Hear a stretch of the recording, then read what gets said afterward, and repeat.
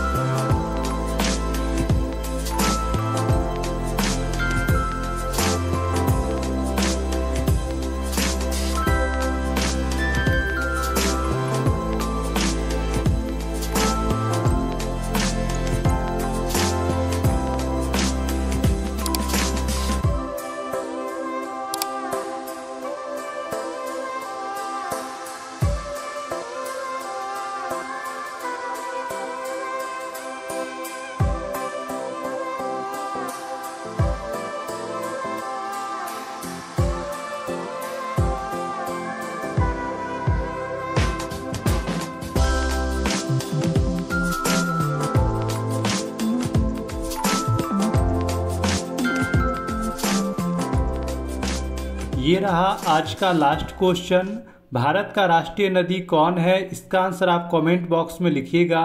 और यदि अब वीडियो आपको अच्छी लगी हो तो वीडियो को लाइक शेयर और चैनल को सब्सक्राइब ज़रूर करें।